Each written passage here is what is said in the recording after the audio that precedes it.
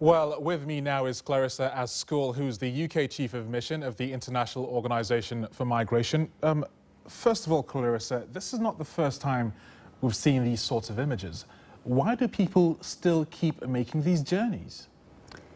Yes, I mean, the issue is not new, it's not recent. Uh, in the past few years, we've seen an increase on the number of migrants attempting to cross the Mediterranean. Uh, it's difficult to, to say exactly why this is happening, but very likely it's because there's such an increase in instability and, and, and in the situation right now in the Middle East and in some African countries, which is leading people to, to, take, to, to, to take up dangerous routes in search of, of better situations.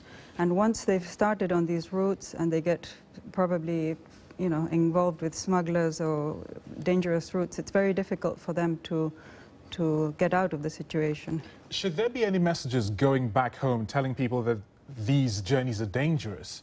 And if those messages did get back, would they even listen?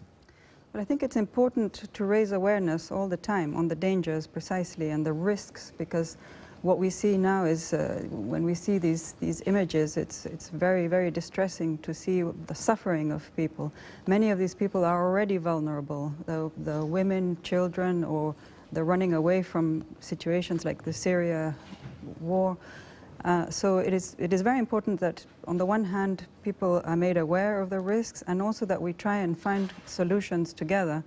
I think countries, governments have to get together and work on these issues and continue to save lives. That's a priority. And then something else, of course, which we, we tend to forget sometimes is usually we see these images in Europe, but this was in Libya, and Libya itself has its own problems, so it can't even cope with what's happening. That's right, and I think the situation right now is allowing groups to, to be organizing these smuggling routes.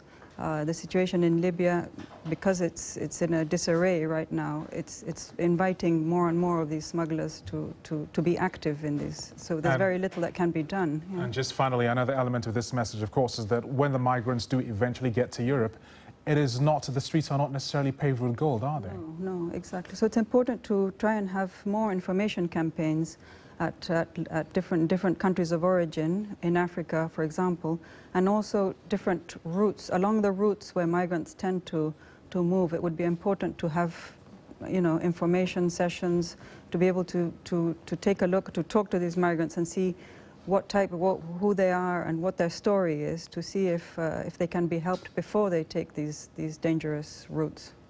Thank you very much. That's uh, Clarissa Azkoul of the International Organization